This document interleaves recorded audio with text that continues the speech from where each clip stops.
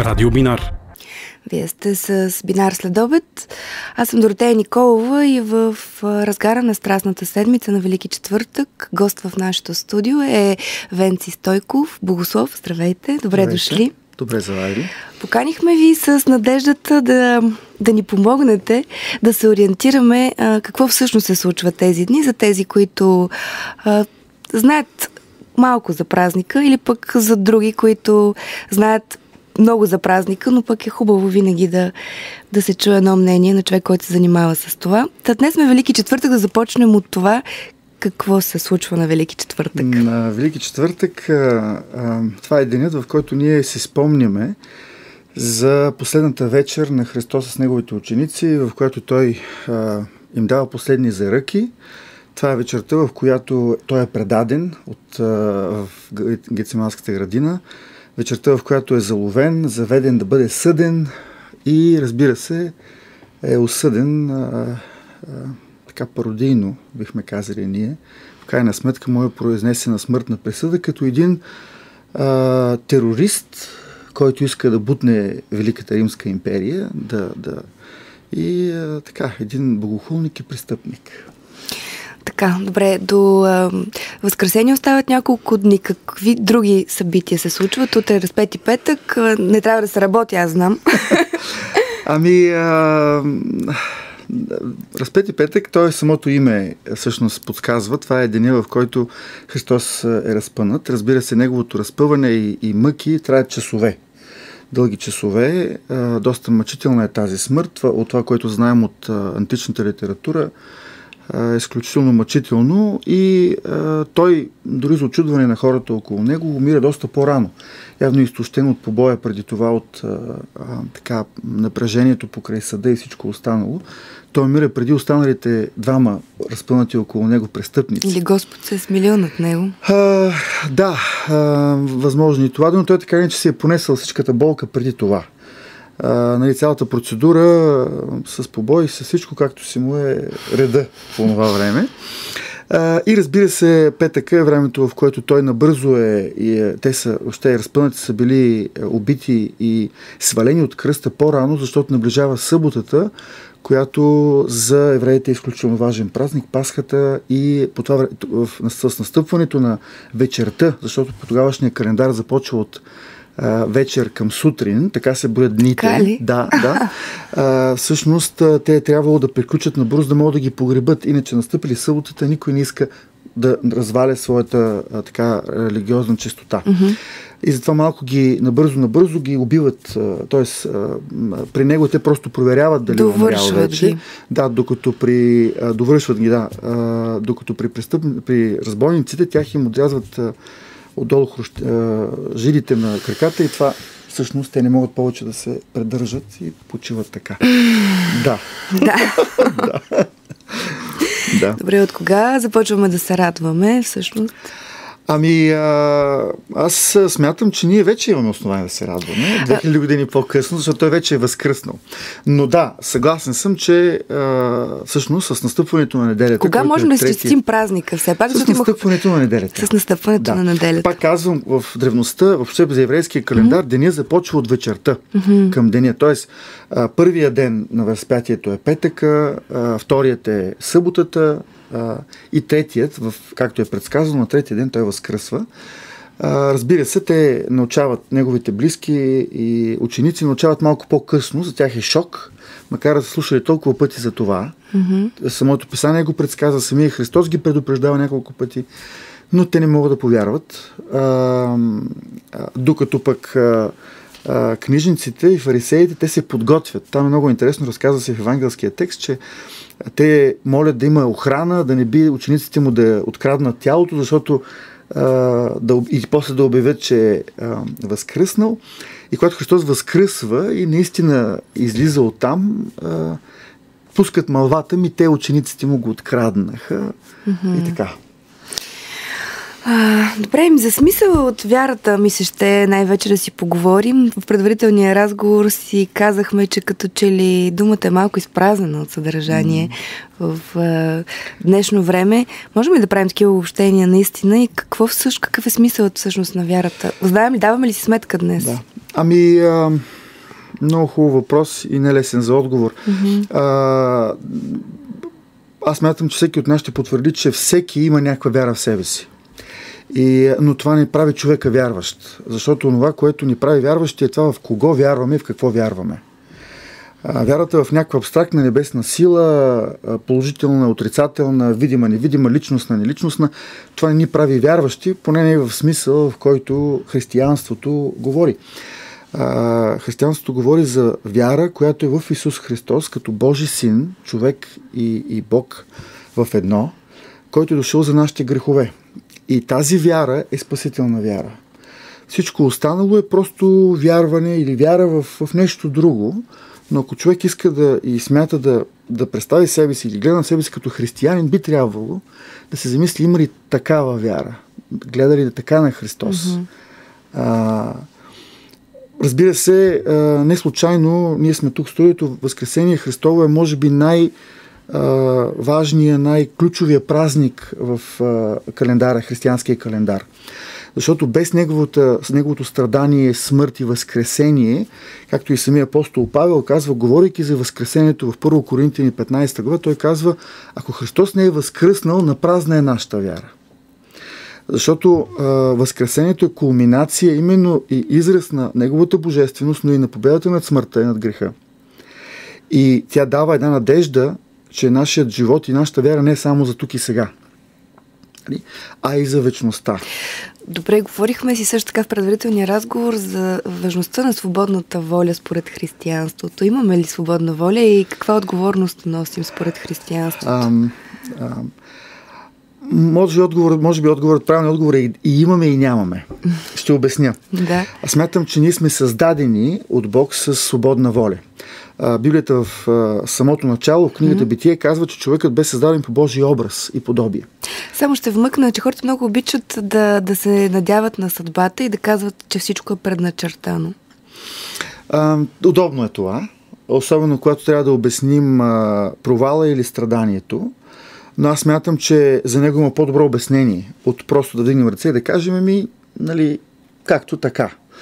А, човека е създаден по Божия образ и подоби, в този смисъл личност, индивидуалност, с възможност да избира. И затова и дървото на запознаване на доброто и злото е там в градината, за да има реален избор а, а, за човека. Сега, направил своя избор, избирайки да, да не се покори на заповедта на Бога, той преживява злото, за което преди това е само знаел като теория преживявайки това зло в себе си, непокорството, бунта, то остава част в... То, то променя човешката природа. Да, още преди самия Бог да накаже после човека и да го изпъди от градината. Тези промени, промени както ни казва Словото, настъпват още в, с самото ядене. И а, тук богословите вече се различават. Някои твърдят, че след този момент човек напълно губи своята воля – и в този смисъл той не може да избира между доброто и злото. Той избира винаги злото. Той е като едно дете, пред което му даваме а, морковена салата и шоколад. И му обясняваме как морковената салата е страшно полезна, защото е пълна с витамини. Но му казваме, ти можеш обаче да избереш това, което искаш. Естествено, те да ще избереш шоколада. Да. И в този смисъл, някои богослови се прави, че човек в, дори в своето желание да избере доброто, той не винаги успява и не винаги го различава. А, от друга страна обаче, а, има други богослови, които твърдят, че а, свободната воля в човека е само замъглена, деформирана а, и в този смисъл тя е ограничена. Mm-hmm. А, до такава степен, че човек не може сам да избере крайното добро и сам един вид да се избави от греха. Има нужда от спасител. Ако можехме сами, както барон фон Мюлхаузен, да се хванем за прическата и да се издърпаме от кълта с барбар с коня и да се излезем отвънка, ще да е много хубаво, но не можем. И понеже никой от нас не може, колкото и добри да сме, а ние, някои от нас mm-hmm. искаме да бъдем добри, хората са добри и щедри mm-hmm. и, и верни на семейството си и така нататък и така нататък, в крайна сметка имаме нужда от Спасител, от Христос който да дойде и да поеме нашето наказание, да умре на наше място, каква, какъвто, каквато е идеята за жертвите в Стария Завет. И грешният човек отива в храма, той признава греховете си, но предоставя животно да бъде убито на негово място, като един вид и слагайки ръката си върху това животно, той казва, да, аз съм грешен, нека моето наказание падне върху него. Mm. И човека оцелява, остава жив и продължава. Така и Христос, умирайки и възкръсвайки, всъщност той дава възможност на всеки, който се покая за греховете си, да получи прошка и спасение. Как да се научим да различаваме доброто от злото?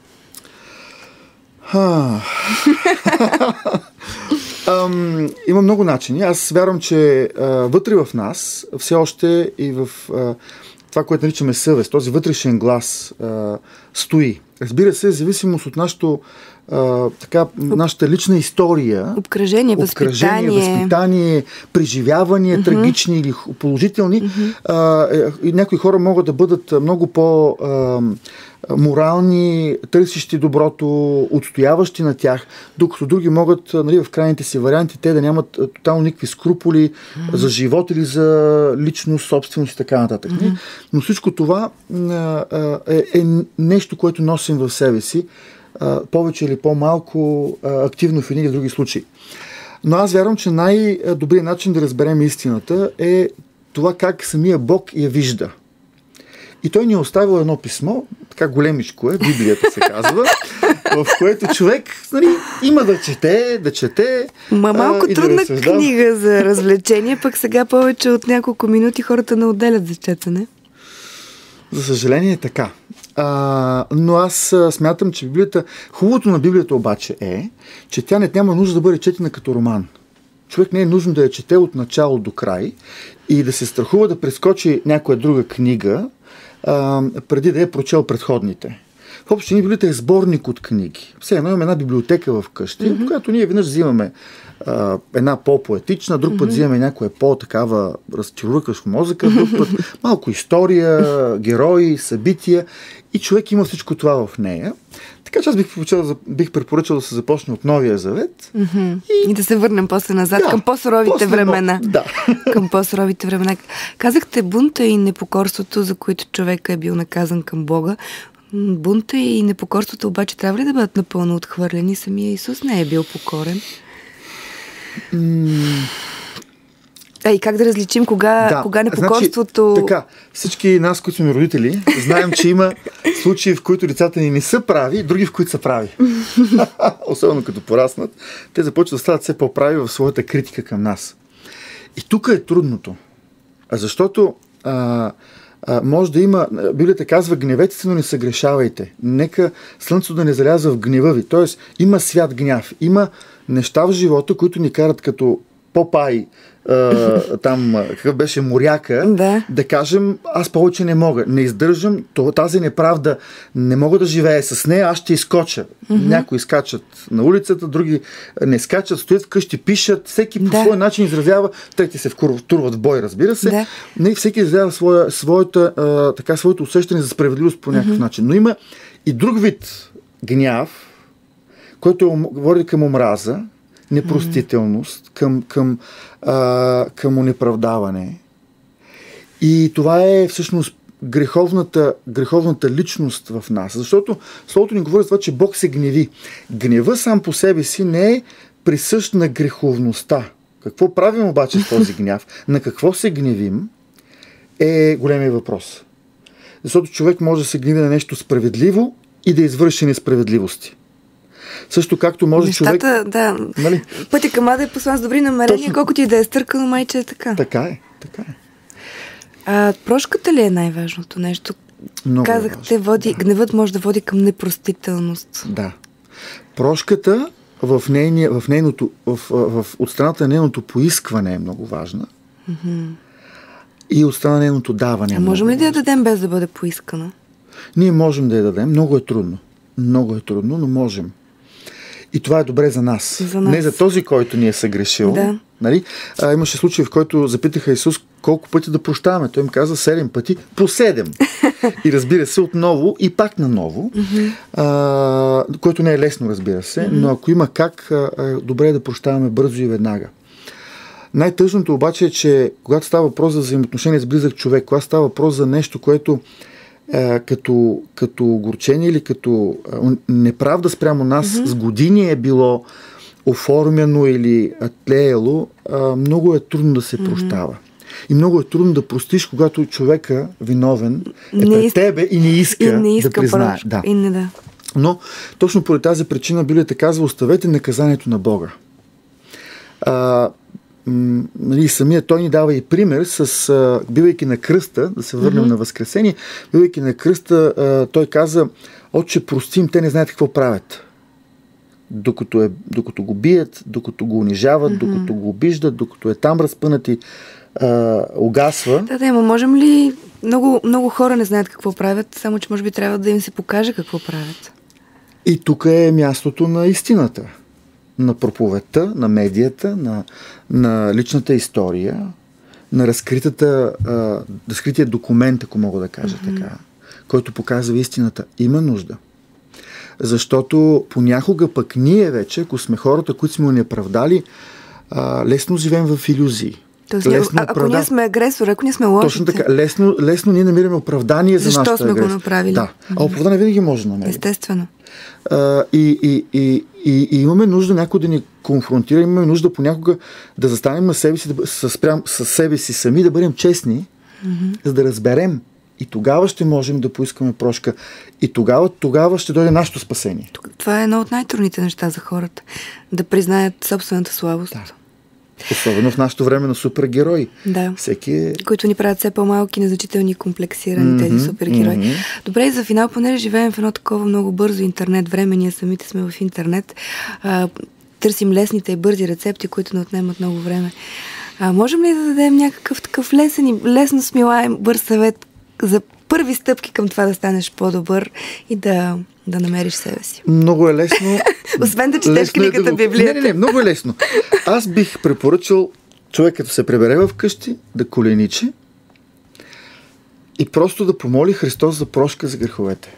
Да потърси Неговата помощ и него, това, което Той е извоювал на кръста за нас, хората. Да не ни е срам да се помолим. Да. Защото а, цялата му а, жертва е именно това, че ние не можем сами, но Той е готов да ни помогне, да бъдем по-добри. И ние сме по-добри, защото Той ни променя. И настъпва вътрешна промяна в нас. Това, което Словото нарича новораждане или обновяване на, вътре, на, на, на това, което е вътре в нас. Нашата съвест става по-чувствителна.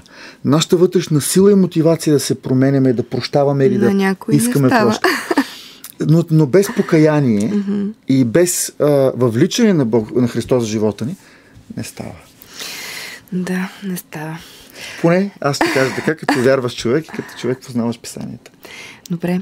Много благодаря за това участие. Благодарим и се надяваме отново да гостувате в това студио, да си пожелаем светли мисли в този, на този хубав празник. Благодаря. Благодаря.